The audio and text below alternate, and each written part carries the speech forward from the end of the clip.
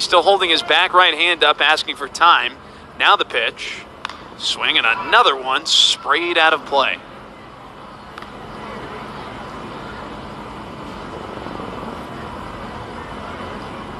On deck is Xavier Edwards, who Biscuits fans have been waiting to see for a long time now. It's finally here. The pitch is in the dirt. And now it's one ball and two strikes. Edwards is the Rays' number five prospect, according to MLB Pipeline. And believe it or not, even though he was acquired by the Rays in a trade with the San Diego Padres in 2019, tonight is his first official game as a member of the Tampa Bay Rays organization. McClure lets it fly, and Whitley swings and launches one deep to left center. Back goes Dedelow, and this one is gone. Garrett Whitley a leadoff home run to begin game one, and he put it just to the right of the 395 sign in the left center field nook. Whitley is fired up, and he has taken Ball for his fourth home run. Can Whitley do it again? Right on right the pitch. Swing, and he yanks a grounder down the left field line, and that's a base hit. Whitley will turn the burners on. He's digging for second. Here comes the throw by Craig Dedelow, but it is offline. And Garrett Whitley, who just kind of flailed the bat, reached today. And with one gone, it is Garrett Whitley.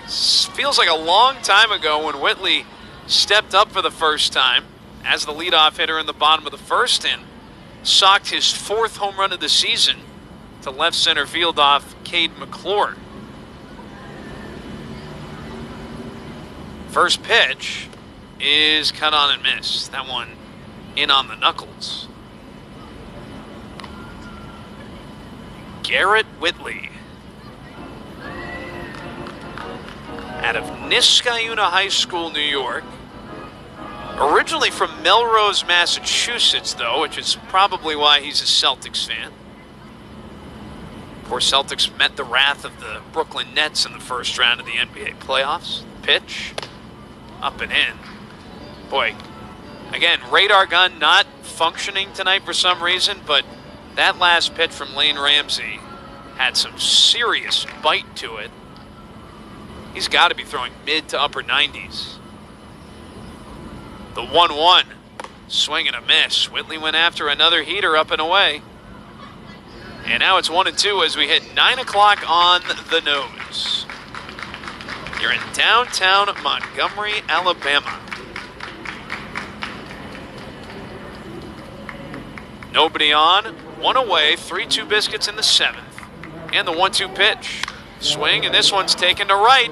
Back goes Adolfo. He's at the wall, and it is off his glove, and it kicks back into play. Whitley is motoring around second. He'll get to third with a stand up, one out triple. And single right here. He'll become just the fourth biscuit to ever hit for the cycle. Right on right, the pitch. Slider, and Whitley wanted that one. He fouls it back, and it is 0 1. Elliot Johnson did it first in the 2006 playoffs, the final game that season, which led to the Biscuits' first Southern League championship. And then Brett Sullivan and Jim Haley both did it in 2019 in the regular season. The 0 1 swing and a foul tip off the catcher Carlos Perez, and now it's 0 2. Sullivan did his in order. In fact, the two year anniversary of that natural cycle was back on June 5th.